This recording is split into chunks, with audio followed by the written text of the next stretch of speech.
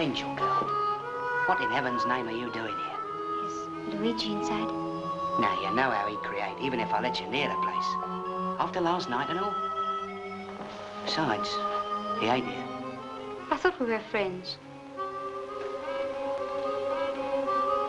All right.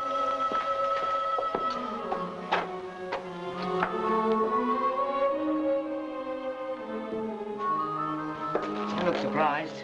I told you he wasn't here. I've got a couple of hours off this evening. I'd like to see a movie. If you was to come with me, just for the company, I mean, we could come back here afterwards and I could fix it up for you to see Luigi. That would be nice, Limpy.